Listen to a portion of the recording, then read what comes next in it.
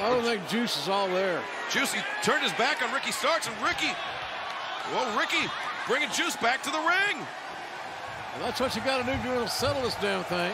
And Starks. Whoa, whoa. No, no, no, no, no. No way.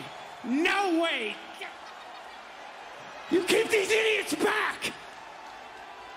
You ain't getting ass kicking in Kansas City or Independence, wherever the heck we at. And you ain't getting ass kicking next week in St. Louis either, because I hate Missouri.